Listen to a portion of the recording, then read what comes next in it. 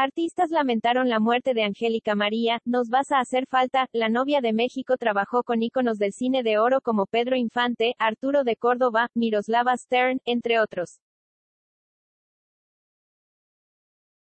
Este 5 de julio falleció la primera actriz sus 77 años tras una lucha de meses contra el cáncer de seno. Famosos como Eric Rubin, Jacqueline Andere, Jorge Van Rankin y Ana Gabriel compartieron su último adiós a la histrioniza. Luego de que se reportara el fallecimiento de Angélica María este 5 de julio a sus 77 años tras la batalla contra el cáncer de seno, algunos de sus colegas y amigos del medio la recordaron y lamentaron el deceso de la primera actriz. Una de las primeras reacciones a la muerte de la histrioniza fue Angélica Vale, quien manifestó su dolor en una publicación de Instagram. En su mensaje lloró la partida de su madre, con el corazón en la mano y profundo dolor les quiero comunicar que mi madre, la bella Angélica María, hoy inicia un nuevo ciclo, en total paz y rodeada de su familia.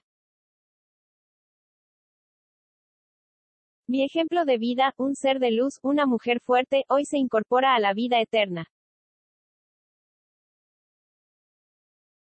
Asimismo, la actriz Jacqueline Andere, con quien compartió generación en el cine mexicano, lamentó ante las cámaras de Televisa el deceso de su colega y recordó su profesionalidad dentro del set. Me voy enterando, es doloroso, la quería mucho, una mujer muy correcta, jamás de escándalos, siempre trabajando y respetaba mucho el tiempo y trabajo de los demás, por eso tenía mucha puntualidad, trabajé con ella en varias telenovelas y admiraba mucho su trabajo, expresó la actriz. Erika Buenfil resaltó la gran trayectoria en el cine y la pantalla chica de Angélica, quien por más de 50 años destacó. Una actriz de gran admiración, gran profesionalismo, hizo una gran carrera en películas y telenovelas con papeles icónicos, dijo.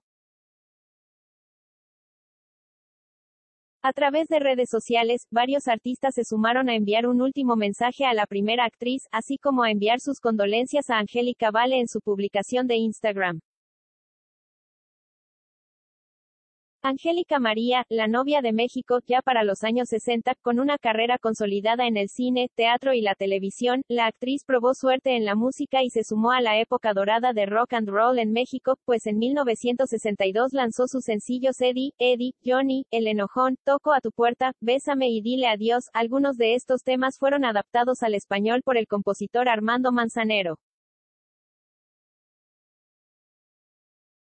La artista tuvo una grata aceptación del público, por lo que recibió el apodo de la novia de la juventud y después la novia de México.